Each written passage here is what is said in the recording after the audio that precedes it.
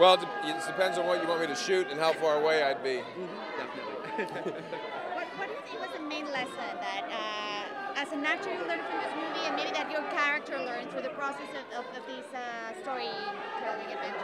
I'm sorry, I can't hear you. What'd you say? What was the main lesson that maybe you learned as an actor, and Uh-huh. also that your character learned through the through the There's something about how, how, how stoic he was, and it was he didn't. It was all sort of in his eyes uh, as a human being, and uh, his, how gentle he was, and how complicated he was, and it was really sort of a, a, a sort of a practice in, in in doing almost nothing, and just sort of trusting that whatever's going inside is going to read.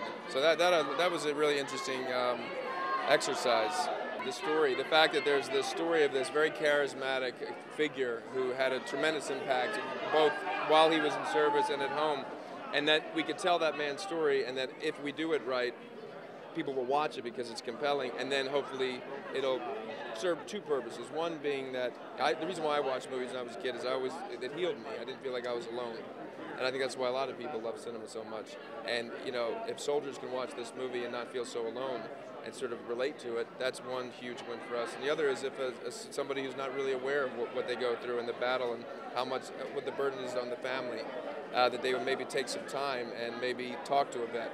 I mean, that's the kind of work that Chris did uh, when he was, after he was honorably discharged from the SEALs and was a civilian. So if this could at all keep carrying on his own work, that would be wonderful. I mean, it was a, it was a very sort of short, uh, no BS conversation, which I'm sure most of the ones would have been like if he if he was alive and we made the movie together, which would have been wonderful. Um, but we just basically talked. I just basically said to him like, uh, I know you don't know me, and I'm this guy that you know. I don't know how you, you may distrust Hollywood, but I, I'm from Philadelphia, and, and I don't know what to tell you other than I'm not, I'm not going to do you wrong, and you can tell me straight because I'm going to tell you straight.